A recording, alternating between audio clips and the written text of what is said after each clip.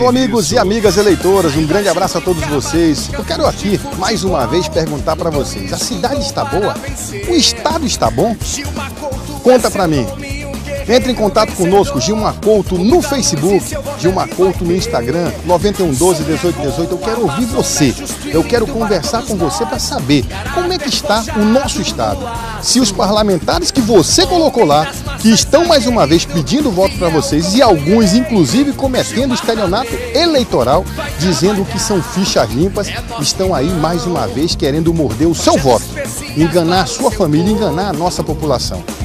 Não dá para mais ser enganado, até porque todos os dias nós estamos aí sofrendo com a enganação desses políticos. Vamos fazer o seguinte: a hora é de mudança. 80% dos amazonenses querem mudança. E você, quer o quê?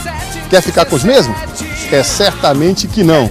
Vamos mudar. A hora é essa. Dilma Couto 1717, no dia 5 de outubro, vote para deputado federal. Educação contra a corrupção. Pense nisso. No dia 5 de outubro, vote 1717. Gilmar Couto, deputado federal. Educação contra a corrupção. Pense nisso.